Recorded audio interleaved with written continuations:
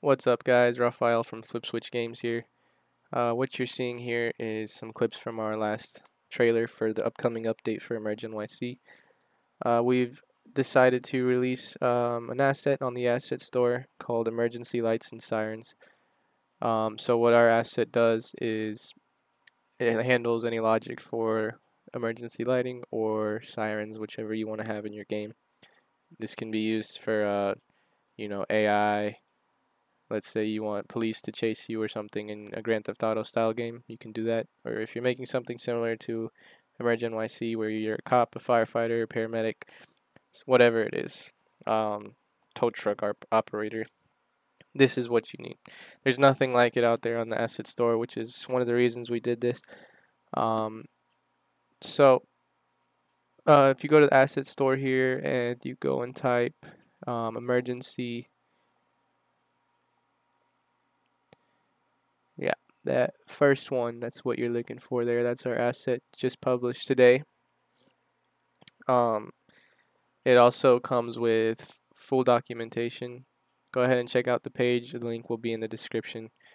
Uh, it comes with plenty of options features uh, and then this full documentation here uh, which explains every component, what it does, how to use it, and we also have a fully functional demo scene with useful prefabs and obviously some some ways to contact us for support and troubleshooting if you're having any issues with our asset.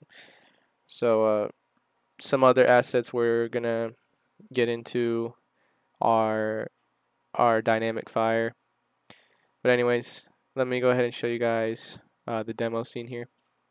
So once you start the demo scene, you can see uh, you have three different types of lights with some controls. So if we cycle through our, our lighting stages, you can see our directional bar has three stages that you can cycle through with uh, the K key, or you can uh, designate a specific key for that function. As you can see, uh, the, the asset includes shaders for the lights to handle emission. Um, it also includes everything you need, really. Um, if if it doesn't include one thing, it's the post-processing stack that Unity that you can get uh, for free through the Unity packages, which will give you this this bloom effect off the lights. So if you download the asset and you don't have that effect, uh, go ahead and, and download post-processing stack by Unity uh, via the, the package manager. Alright, so this uh, asset is very flexible. You can really do what you want with it. So um, it also includes lights and sirens. So we'll go ahead and show you guys that real quick.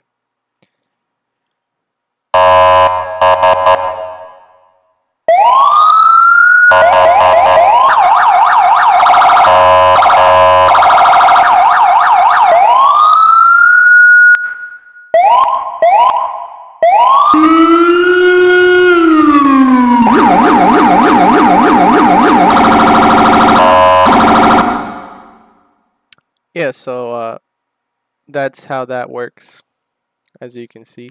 So this is all stuff you can do in the demo scene, uh, which you can always transfer over to your project. So it obviously includes um, some siren sounds in the asset, um, which you can always replace them with custom sounds. So let's uh, move on to um, showing you guys sort of how the system works. Alright, so this is the main components, uh, which is VLS V2 vehicle controller and FFD siren controller. So if you go into your scripts folder, you can find all the components related to this asset. So for the siren control, you have siren output. That's where you designate the audio source that you want to play these sounds uh, and here you'll set all the sounds that you want for your sirens. Um, the keys you can always change the variable for the keys so you have your own custom controls. And these auto intervals, I'll show you that in just a second.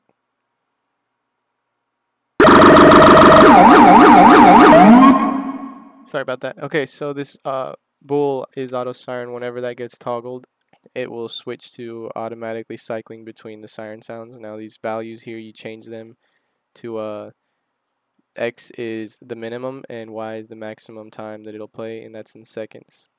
So we set our variables. Now let's go ahead and toggle this bool again.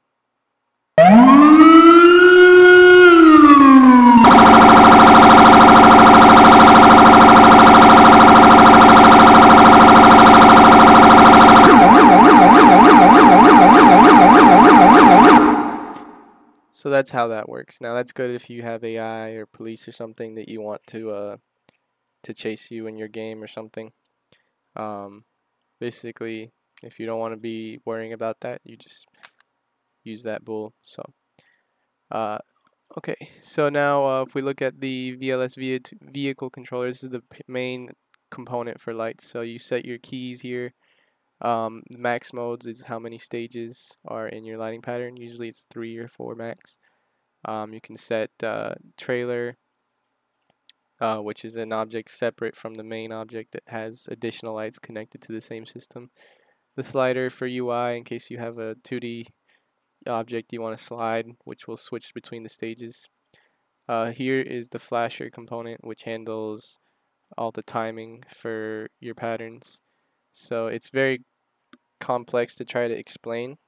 It's kind of, you just have to mess with it. So it goes from time off, time on, and time off. So pattern A you can see is 0 seconds off, 200, well not seconds, sorry, but I think it's milliseconds um, or less. I don't know the value exactly.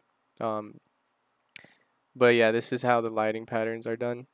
In case those of you who play Emerge NYC watch this, you can see how uh, each pattern is done. So pattern A would be your first stage, pattern B would be your second stage, and pattern C would be your third stage. Uh, you can have up to five stages, and um, under type, you can specify the type of light you want it to be, whether you want it to be an LED, uh, rotator, um, a halogen, or a semi-rotator. So here you can see we have LED. These corner lights are on pattern A right now, so they're off for 0, on 200, and off 200, and then reset that pattern. So it's kind of like uh, if you've modded Emergency 4, it's kind of like the same how the lights work there. So as you see now that we're on pattern 3, we're using that uh, pattern C for those corners.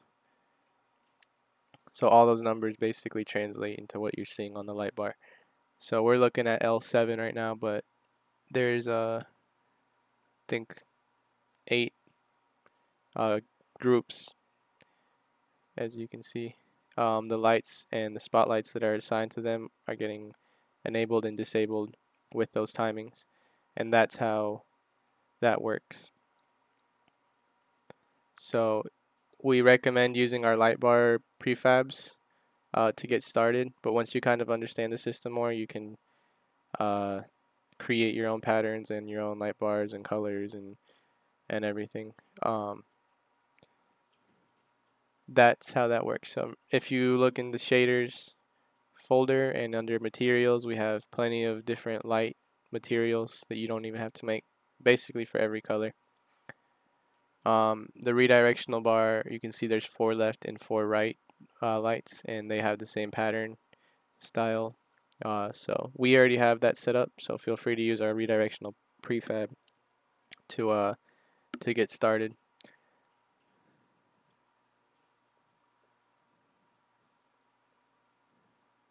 So let's move over to rotators. You can see we have some rotators here. Now this one's pretty cool because it it's red on the left side of that red line and it's blue on the other side. So if you look at the light, it changes colors. So that's an option we have. Uh, the rest of the lights, the far top one is a semi-rotator, so it goes left and right. The middle one is just a normal rotator that goes all the way around. So we have examples of each of those. Um, here you can see the the types. So you have, you know, rotator, semi-rotator. You can also change uh, the speed this is changing the direction here. So negative one would be the opposite direction and one would be the, I believe, clockwise. And then down here you have your speed, so we can slow it down to one, or we can make it 100 and go slow. Oh, and let's put it back to what it was before. And then this is the value of the angle at which the light color should change if that's an option you have selected. So if you look now the light's red and then it turns blue just in between that angle and we'll put it back to normal. And here you can specify for the pattern if you want it to be a semi-rotator or a rotator or colored or you know whatever you want it to do. So this right light can be semi-rotating the first pattern and then turn turn into a rotator and then the last pattern it can turn into a colored rotator that changes colors. So you can do really unlimited options. So this is a great uh, starting point for those of you who want to do something similar to what I've been doing with Unity these last couple years. Um, this will save you a lot of time. It's only $15. I paid probably $500 for this system by the end of the time it was done um, in work hours. So it's definitely saving you money, time, and a lot of work. It's a very well thought out system um, with all the things that I needed for my game which should be more than enough for whatever you need it for. Um, it, it will handle your lighting solution and your sirens. So I'll leave the link in the bio below. Feel free to go pick that up. If not, um, if you like, you know, what you saw in the beginning, that's my game, Emerge NYC. If you're not familiar with it, uh, go like go check it out. It's an early access game. We've got a new update coming pretty soon and um, we have new assets that we will be putting out uh, pretty soon. Uh, one will be the dynamic fire and propagation, which will be a system where uh, fire can spread throughout a building or a room or whatever you want it to, and you can put it out with water or whatever you want to use, and it will have you know accurate effects of steam and smoke and spreading and damage and, and whatnot really. Um, and then also we will be having a suite of tools that I use to make Emerge NYC um, that I will release on the asset store as well. So keep an eye out for those two things. And if you like the asset, please review it. Thanks.